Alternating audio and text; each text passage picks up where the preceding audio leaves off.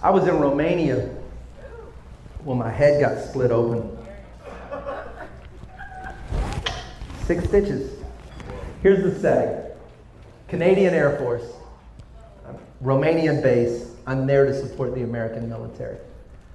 We're in a hangar on Thanksgiving Day, American Thanksgiving. We're the only ones who celebrate Thanksgiving on that day. Uh, we always act like everybody, nobody, just just us. We're the only ones with Indians and pilgrims and all that shit. Um, nobody, go to fucking England. Nobody's making turkeys out of their hands. Nobody.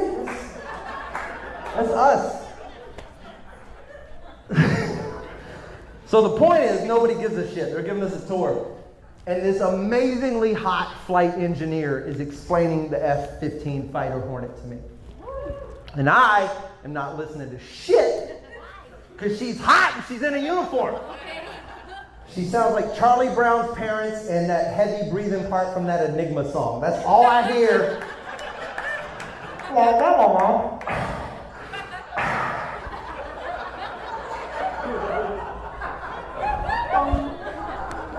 So I'm not listening. I don't hear her when she explains the metal fin inside the exhaust that they lovingly call the nutcracker. Uh, I don't hear any of that. And then when she's done with her whatever expose, she flings her flashlight into the exhaust. She goes, Does anyone want to go get it? And I'm a dumb dog. Not only will I get it, ma'am, I'll get it faster than anybody's ever gotten it. That's it. I jumped up into that exhaust and I was like, well, crawling will be slow, but if you roll over, will like, yeah, that's the fuck, that's the exact sound. I shoved my head into this metal fin so so it was like it was like you ever chopped firewood and you miss hit and you're like how did it get my head off of this? And I'm still trying to be cool because she's hot. trying to come out all slow. Hey!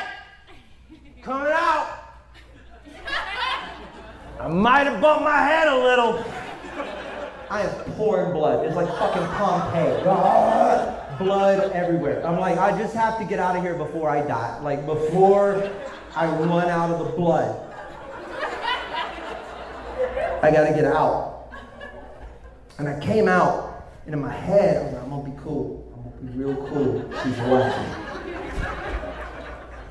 I took a knee like a superhero.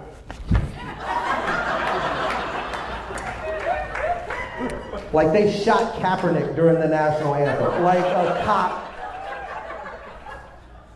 I rolled over and just laid on my back, and I think died. I don't even know I'm a bitch when it comes to blood. I pass right out. Just whatever. Oh, you're about to take my blood? Cool. Bring me a pillow. I don't care. They brought me, the Canadians put me back together, and they brought me to the American clinic on base. The American clinic, you ever, you ever seen somebody at their first day of work? Well, you just, you know, where they look uncomfortable, they look like a, they wish a manager would relieve them at any moment. That was the dude. Because I come walking in and I, I'm bleeding profusely. It's a deep wound. And I just come in to a clinic where I assume everyone's qualified. I go, hey, uh, I seem to have a problem. Oh, what's the problem? And I go, this, and I pull it off, and it goes, like a sprinkler, like a blood gun. And his professional medical response was, oh shit!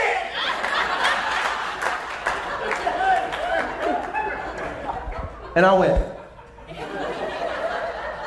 one of us is going to have to pull it together.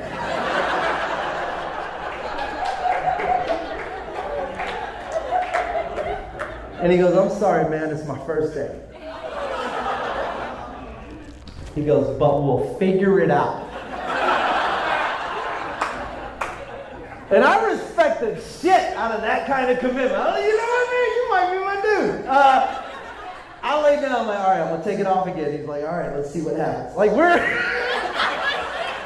we are coordinating a problem. And I go, all right, you ready? He's like, yeah. I go, he goes, no! He goes, All right, here's what I think.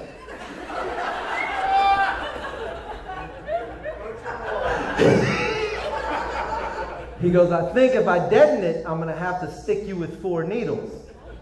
He goes, But if I stitch it up, I'm going to have to stick you with four needles.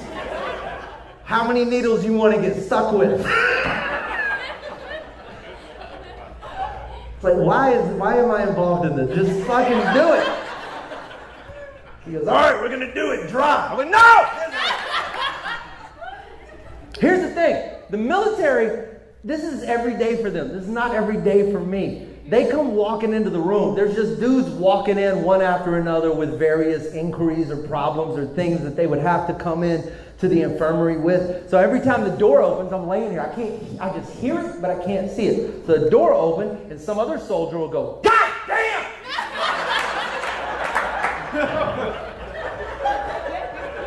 this isn't making me feel any better. After about the third one, I'm not, and now I'm in full comic mode.